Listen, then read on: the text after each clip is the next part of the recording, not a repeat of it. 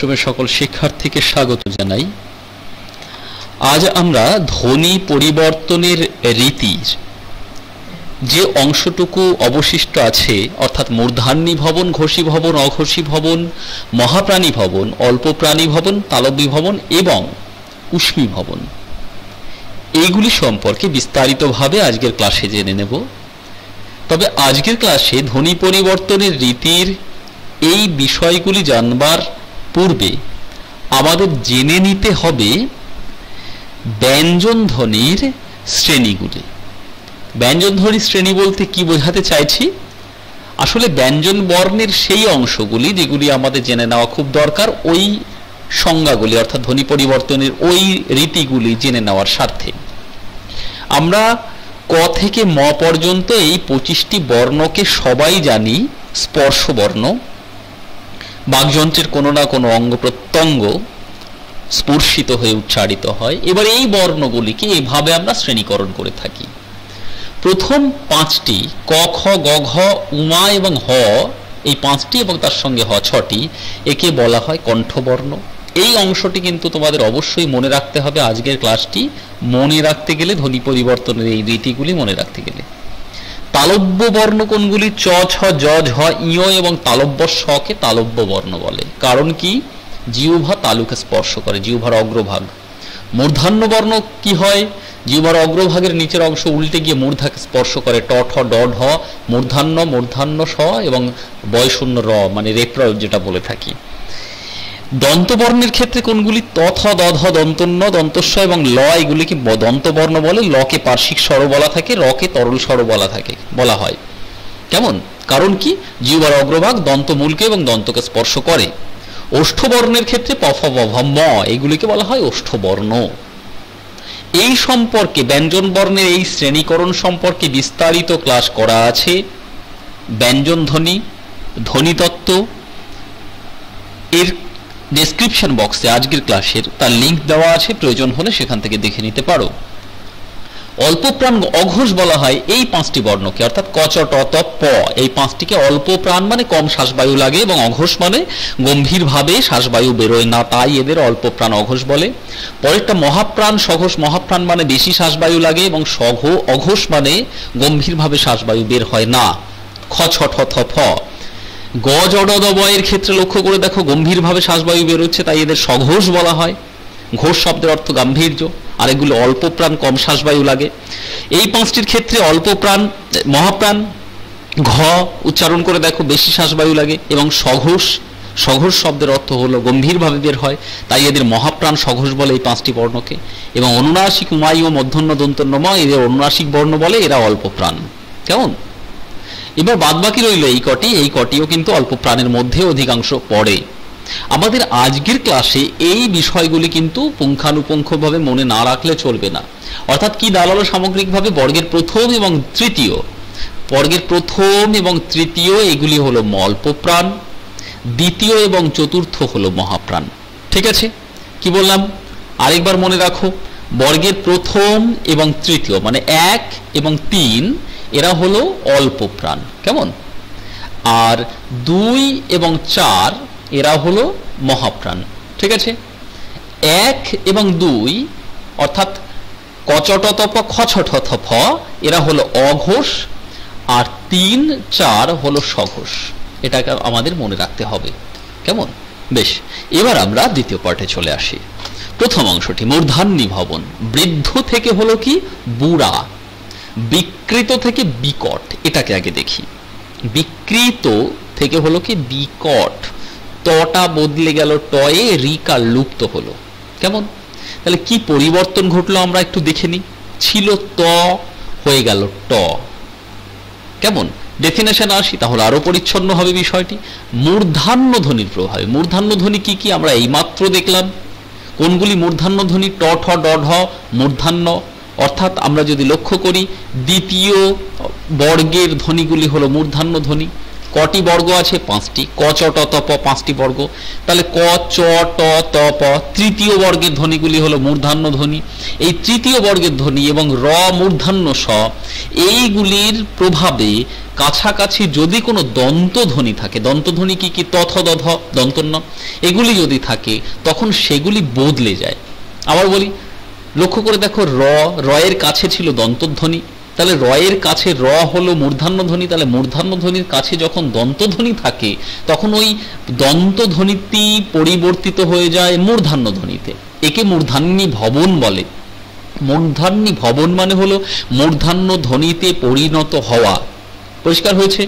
তোমরা এর আগের পাতা যে চার্টটি দেখিয়ে দিলাম, ওই চার্টটির সামনে রেখে এটি বুঝে নেওয়ার চেষ্টা করো। তাহলে কিন্তু খুব সহজেই পরিচ্ছন্ন হবে বিষয়টি।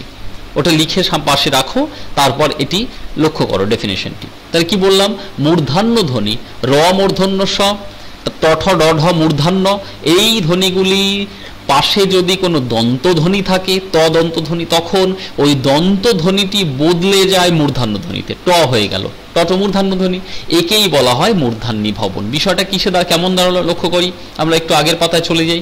আগের পাতায় লক্ষ্য করো। এই মূর্ধান্য ধ্বনি ট, ঠ, ড, ঢ মূর্ধান্য মূর্ধান্য স র। যদি এই ধ্বনিগুলোর পাশে দন্ত ধ্বনি থাকে তথ দধ দন্তন্য এবং দন্তস্ব ল, তখন এই ধ্বনিগুলি, অর্থাৎ তথ দধ মূর্ধান্য ধ দন্তন্য দন্তস্বল ধ্বনিগুলো বদলে গিয়ে মূর্ধান্য ধ্বনিতে পরিণত হয়, অর্থাৎ এগুলিতে পরিণত হয়। এই রীতিকেই বলা হয়। এই যে বদল ঘটল, দন্তবর্ণ থেকে মূর্ধান্য ভবন, একেই বলা হয় মূর্ধান্য ভবন। কেমন? ঠিক তেমনি তালব্য ভবনও হতে পারে, যখন তালব্য ধ্বনিতে পরিণত হবে। আমরা এরপরে ডেফিনেশনে দেখে নেব। তাহলে মূর্ধান্য ধ্বনি আমরা প্রাথমিকভাবে দেখলাম, বুঝলাম, তাই না? এবার আমরা আসব পরে ডেফিনেশন ঘোষী ভবন। আমরা প্রথমে বলেছিলাম, ঘোষ ধ্বনি কোনগুলো? ঘোষ মানে হলো গম্ভীরভাবে বেরোয়। অর্থাৎ সঘোষ তিন আর চার বর্গের তৃতীয়। আমরা যদি লক্ষ্য করি গোটা বর্গকে, তাহলে তৃতীয় চতুর্থ।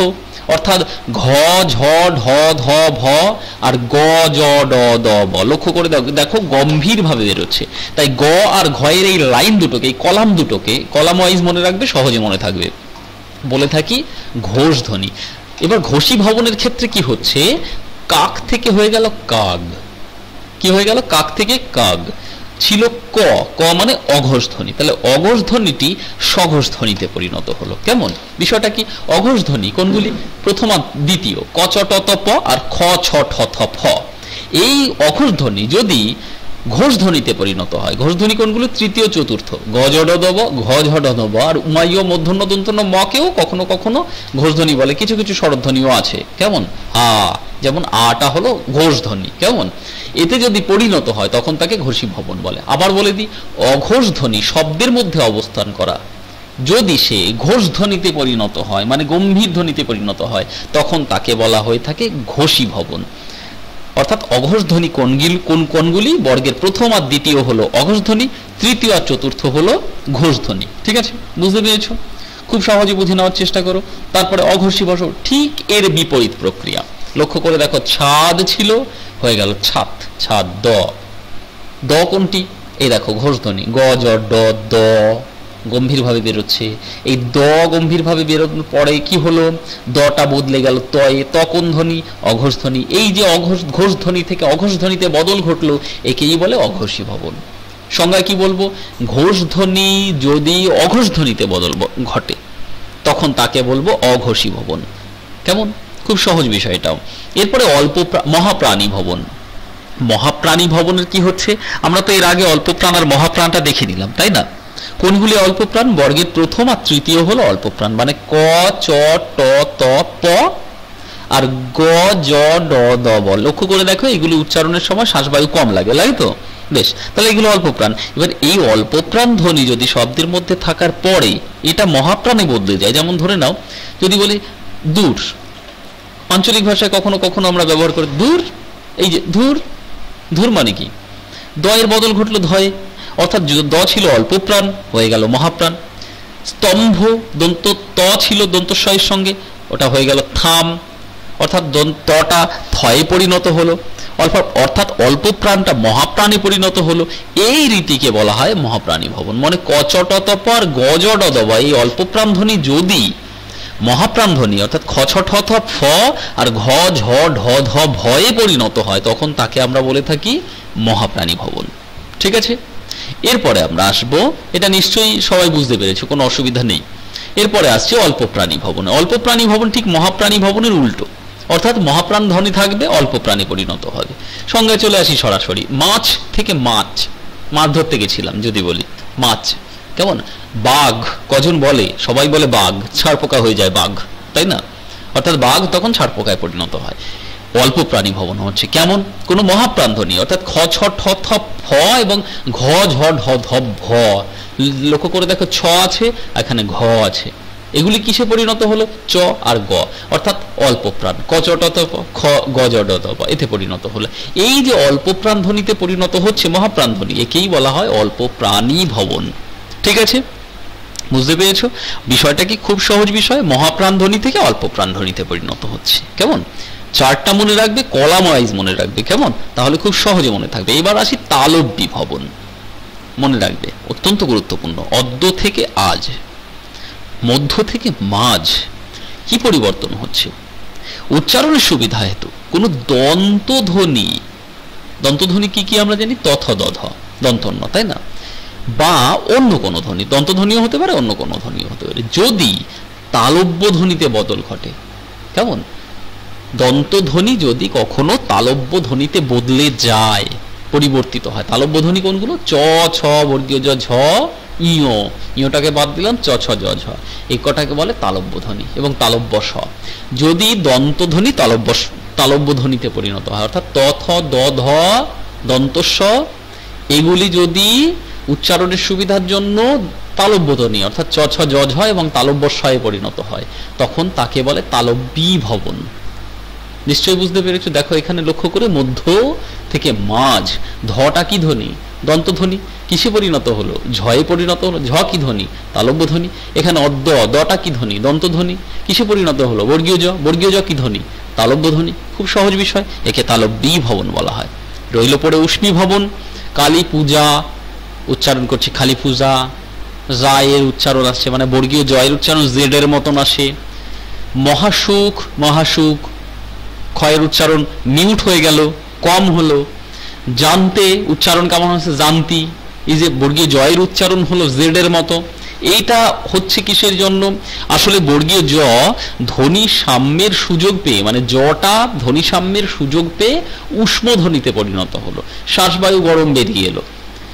কি বিষয় হয়? স্পর্শ ধ্বনি উচ্চারণ করতে গিয়ে এমন হয় কখনো কখনো যে শ্বাসবায়ু আংশিক বাধা পাচ্ছে। তবে সেই সময় স্পর্শধ্বনি উষ্মধ্বনিতে পরিণত হয়। উষ্মধ্বনি কি কি আমরা জানি? তালবস্য, মধ্যনস্য, দন্তেশ্বকে উষ্মধ্বনি বলা হয়। আর স্পর্শধ্বনি কোনগুলি? ক থেকে ম অব্দি ধ্বনিকে স্পর্শধ্বনি বলা হয়। তাহলে ক থেকে ম অব্দি থাকা এই ধ্বনিগুলির কোনোটি যদি উচ্চারণের সময় খানিকটা বাধা পেয়ে যায় এবার বাধা পায় তা কেন? এটা আমাদের মনে রাখতে হবে। এটা বুঝতে গেলে তোমাদের দ্বাদশ শ্রেণির সেই অংশটি মনে রাখতে হবে, যেখানে ধ্বনি তত্ত্বের চ্যাপ্টারটি আছে, সহধ্বনি, রূপমূল, ধ্বনিমূল, এগুলি আছে, সেগুলো একটু জেনে নিতে হবে। কেমন? তো সেখানে আমরা লক্ষ্য করি যে কোনো একটি ধ্বনি, সে হলো ধ্বনি মূল সে অনেক রকম সহধ্বনি রূপে উচ্চারিত হতে পারে। কেমন? যেমন ল যদি ধ্বনি মূল হয়, তাহলে তার সহধ্বনি তিনটে। একটা তালব্য ল, একটা দন্ত ল, আর একটা মূর্ধান্য ল। তিন রকম ভাবে উচ্চারণ হতে পারে ল। কেমন? এরকম প্রত্যেকটি ধ্বনি অসংখ্য রকম ভাবে উচ্চারণ হতে পারে। এটা ধ্বনিতত্ত্বের চ্যাপ্টারে বিস্তৃতভাবে আলোচনা করে দিয়েছি। তোমরা দেখে নিতে পারো। ডেসক্রিপশন বক্সে লিঙ্ক দিয়ে দিয়েছি। লক্ষ্য করো। এবার এখানে লক্ষ্য করতে হবে, এই যে বর্গীয় জ ধ্বনি সাম্যের সুযোগ পাচ্ছে, পরে ন আছে, ত আছে। যখনই ন, ত রইল, তার উপরে নির্ভর করে বর্গীয় জয়ের উচ্চারণের রীতির পরিবর্তন ঘটলো। এই যে পরিবর্তনটা ঘটলো, ফলে হলো কি খানিকটা বাধা পাচ্ছে। তখন হলো কি, এই বর্গীয় জ উষ্মধ্বনিতে পরিণত হয়ে গেল। স্পর্শধ্বনি বর্গীয় জ, তাই না? উষ্মধ্বনিতে পরিণত হয়ে গেল। গরম শ্বাস হয়ে নিঃসৃত হলো জেলের মতো উচ্চারিত হলো। অর্থাৎ জানতে ছিল হয়ে গেল জানতি। এই যে পরিবর্তনে কি উষ্মী ভবন বলা হয়। ঠিক আছে? বেশ। নিশ্চয়ই ধ্বনি পরিবর্তনের রীতি সংক্রান্ত আর কোনো সমস্যা নেই। যদি সমস্যা থাকে ডেসক্রিপশন তোমরা কমেন্ট বক্সে লিখে আমায় জানিও। আমি অবশ্যই পরবর্তী কোনো ক্লাসে তা সমাধান করে দেব। আর নিশ্চয়ই ক্লাসটি সম্পর্কে তোমরা সন্তুষ্ট হয়েছ। এরকম ক্লাস দেখতে থাকো আর ক্লাসের সঙ্গে জুড়ে থাকো। সকলকে ধন্যবাদ।